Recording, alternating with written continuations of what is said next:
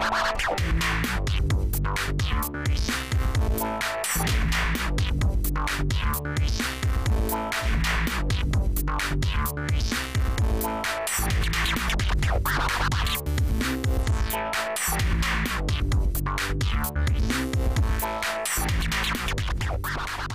Welcome to the series about linear programming.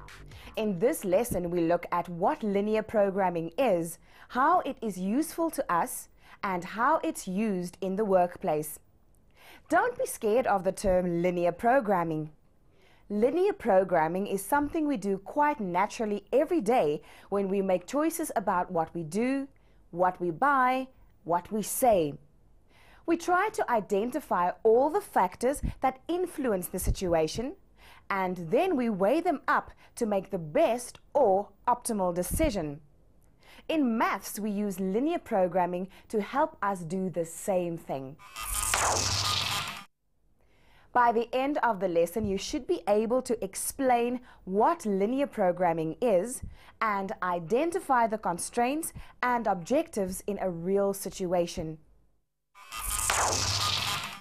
Before we carry on with linear programming, I'd like you to watch the following scene and notice what choices Vanessa and Nick have to consider and how they arrive at a decision.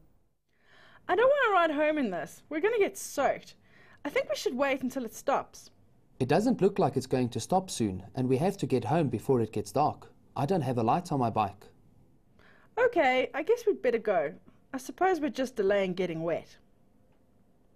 Let's go. Let's ride as fast as we can. The faster we go, the sooner we can be dry again. My brakes aren't that good. If we ride too fast, I won't be able to stop suddenly. When the wheels are wet, we could slip. And the drivers of cars probably can't see us so well in this rain. But if we go too slowly, we'll get drenched. Let me ride in front. I'll look out for danger, and if I go too fast, just shout. Okay, I trust you, but be careful. I'm sure you've been caught in the rain before and you've had to make quick decisions like Vanessa and Nick. Vanessa and Nick want to get home as soon as possible to avoid getting wet. We call that the objective, the thing you want to achieve.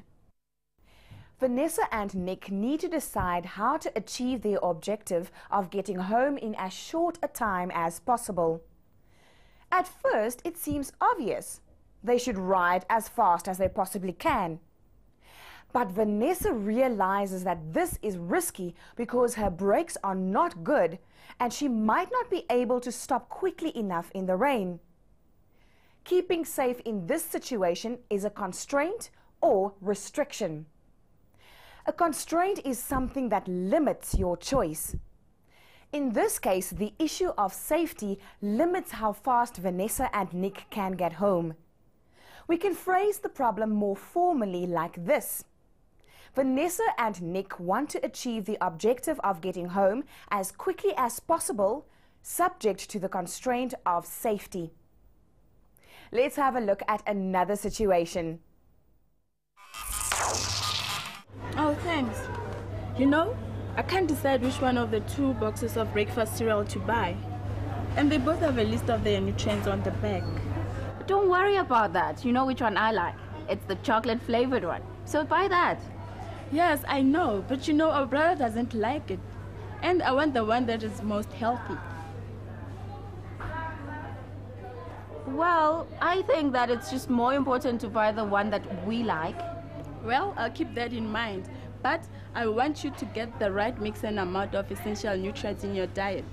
And I want to get the best value for money. It kind of takes the fun out of shopping, doesn't it? Yes, I guess it does. Shopping is full of difficult decisions. The advantage of this one is that it has more recommended daily amount of nutrients per serving. So you don't have to eat as much to meet your health needs. On the other hand, this one is much cheaper. But I would have to give you larger servings to meet your nutritional requirements, and that will affect the cost. The decision we saw the mother struggling with is a decision that shoppers face every day as they shop. They want to get the best value for money. In this case, the mother wanted to choose the most cost effective breakfast cereal. This is her objective. But the price wasn't the only thing to consider. She wanted to choose the cereal with the best nutritional value and still consider her children's likes and dislikes. We can call these the constraints. Let's see if we can summarize the problem facing the mother. She needs to achieve the objective of choosing the most cost effective breakfast cereal subject to the constraints that her choice meets the nutritional needs of her children and the flavors that they prefer. In the end, like all shoppers, the mother considered her options and made a choice. The two scenarios we have looked at so far both involved situations in which people had to make choices in order to achieve a desired outcome or objective. Their choices were influenced by certain requirements or constraints. In our daily lives, we tend to solve these problems using whatever knowledge we have and using our common sense.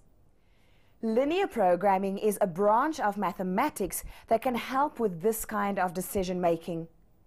In linear programming, we use a mathematical method or technique to help us find the best solution from a range of possible solutions subject to certain constraints.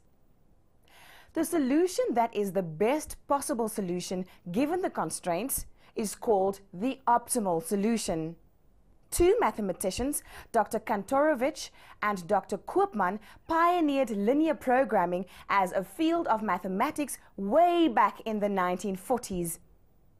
Today, the concepts underlying linear programming are used in many different fields of work. For example, airlines must fill their flights in the most profitable manner. Fertilizer manufacturers must mix their products in the best ratios to create fertilizers. Pharmaceutical companies look for the best mix for the nutritional supplements they sell and conservationists must decide on fishing quotas to ensure that the fish populations are maintained. The value of linear programming to this kind of decision making has been recognized. In 1975, Dr. Kantorovich and Dr. Koopman were awarded the Nobel Prize for Economic Sciences for their pioneering work in linear programming. Of course, Many linear programming problems are complex with many factors to consider and can only be solved using a computer. However, no matter how many factors must be considered, the underlying thinking is the same. In each situation, we decide on our objectives, we look at the constraints of the situation, and we try to make the best decision using the information we have. In the next few lessons, we will work through some linear programming problems together. As we do this, the definition of linear programming will make more and more sense to you.